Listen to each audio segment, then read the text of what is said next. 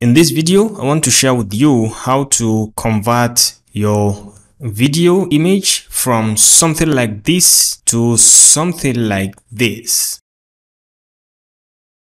Okay, so you can have it in a cycle. This can be possible when you are doing maybe explanatory video that you want to show your screen and then part of you explaining the video. Okay, so you can make this very easily with Adobe Premiere Pro. So there's a very cool way to make this and I will just show you just that. So to start with, all you need to do is to open your Adobe Premiere Pro software and then upload the video content. That is the two screens. Maybe one is your camera. For example the one and i have over here the first one at the top is my camera video. And the second one let me show you when i disable this. You can see it's my screen capture. So i want them to go simultaneously as i'm explaining the as if i'm explaining the screen capture using my own camera video. So to do that let me enable this and let me make sure that the camera video is at the top over here top of the screen recording. So the next thing you need to do is to make sure you come to the effects tab over here. You have to be on the effect tab. So you just click on effects and you should bring you here to effects you can always come over here and search for given functions. So the first thing you need to do is you want to search for a circle. If it is circle that you want to bring in so you can see circle over here as an effect. So you just drag it and drop it at the top of the video. This is the video from my camera and you can see it has just slightly nearly disappeared. You can see it over here. Okay so all i need to do is to make sure i come to the effect over here. So you can see the circle over here. So you can just come all the way to blending over here. So you can just click change it from known as it is right now to stencil alpha okay stencil alpha. So you just click on it and you can see it over here. It's beginning to show my screen my camera video. So you can just come all, all all the way down to the radius over here still on circle come to radius and try to increase the radius accordingly. So it fits to your circle to the location you want. You can use this center to move it across. You can use it to just drag change numbers and you can move it across until you get to the center of what you want to uh, capture. So for example, I want to the whole of my face to be captured and you can see I want everything to be centralized. You can see this kind of looks uh, cool. Okay.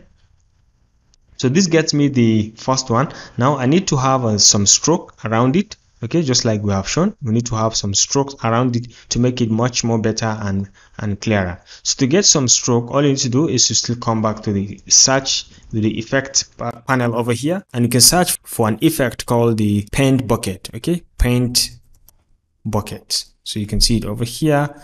Uh, you can just drag and drop it and you come down. At the first units you can see it just looks kind of weird but don't worry you just need to do some little tweaking and it's going to change. So once you start you put the paint bucket you can see it over here the control. So you can just come all the way down here to fill selector. You can come to the fill selector click on the drop down and you can come all the way to alpha channel.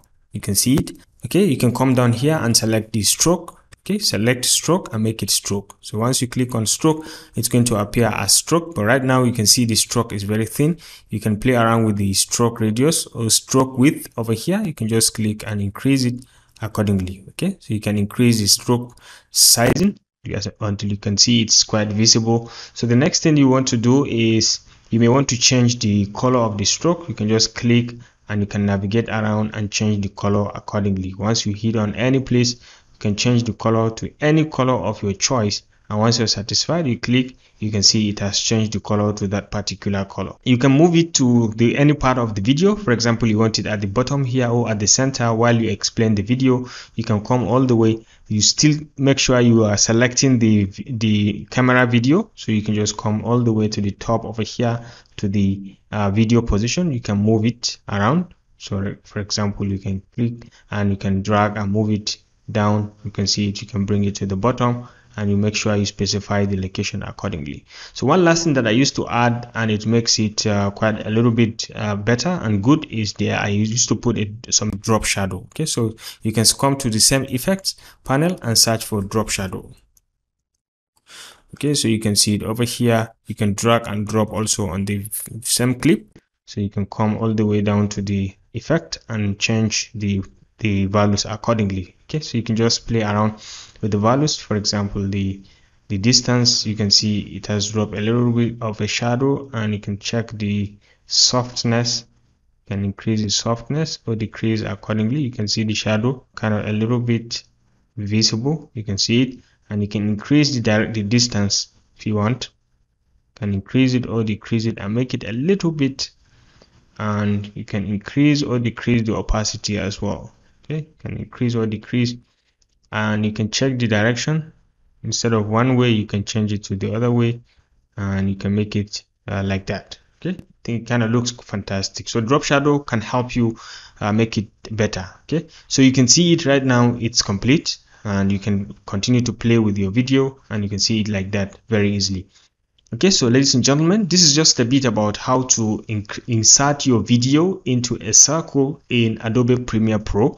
If you enjoyed this video please remember to give it a thumbs up and don't forget to always hit the subscribe and notification buttons to stay connected to this channel for more of our very very useful videos. I'll see you in my next video. Bye